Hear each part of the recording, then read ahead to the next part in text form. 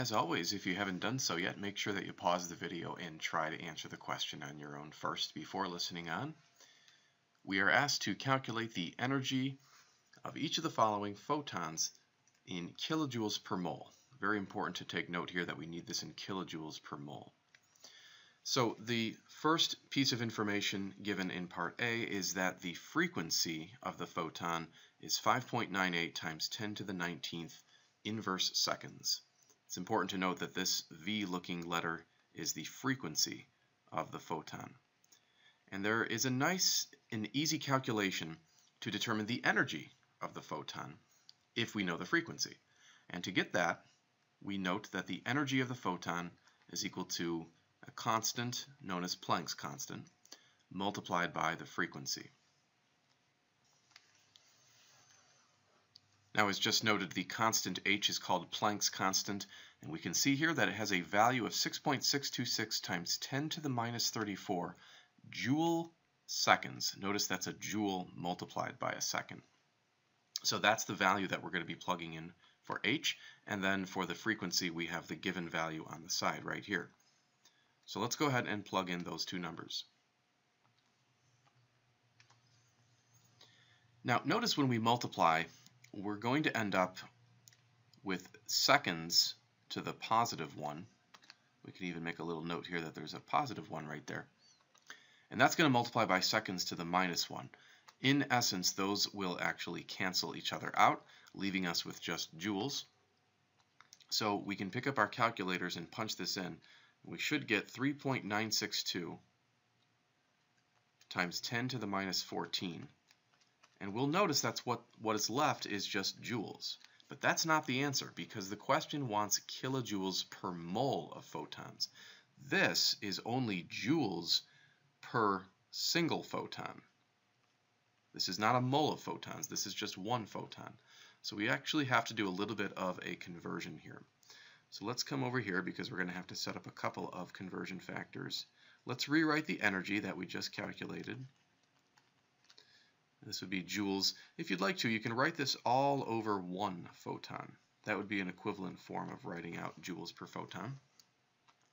And we're going to multiply by a couple of conversion factors. Now, we want the joules to turn into uh, kilojoules here.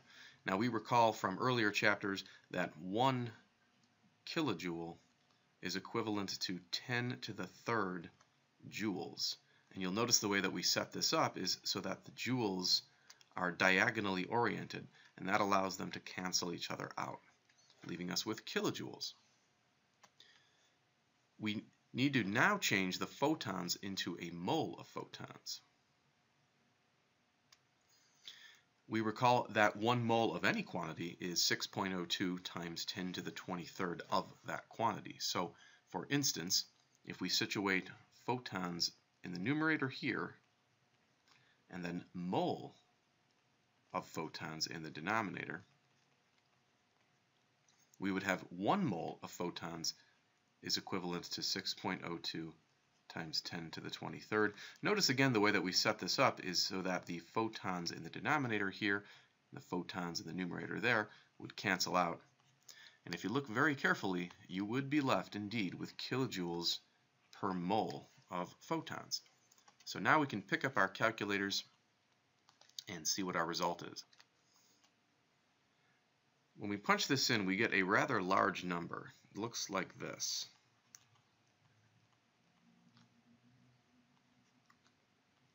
And you could probably actually type that into your online homework system and get the correct answer. So that would indeed be kilojoules per mole.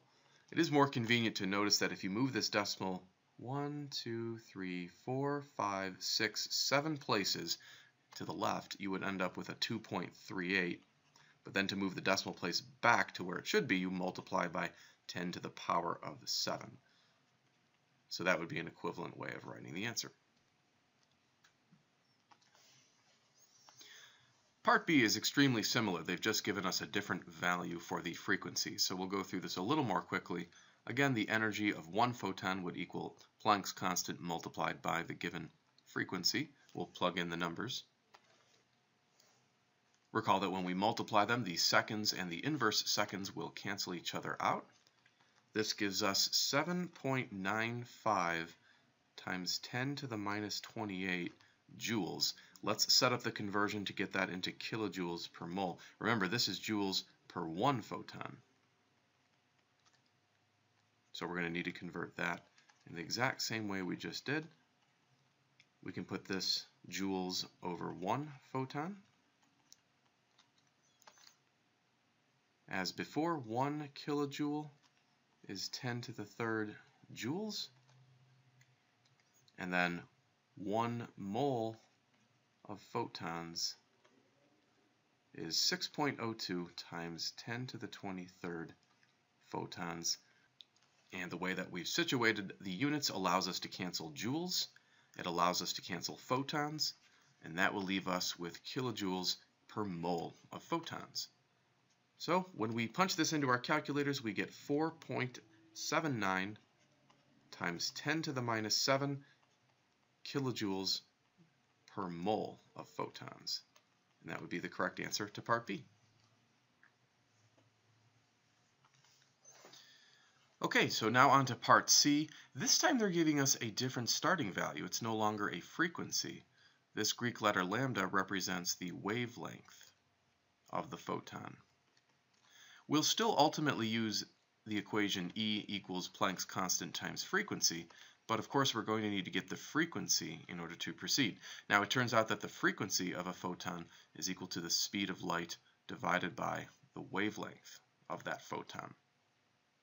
The speed of light has a constant value of approximately 3 times 10 to the 8th meters per second, and we'll divide that by the given wavelength of 265 meters.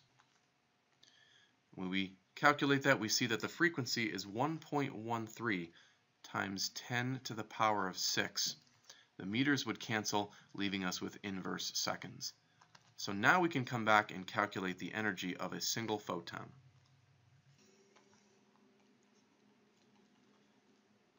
And when we do that, we get roughly 7.50 times 10 to the minus 28 joules per photon.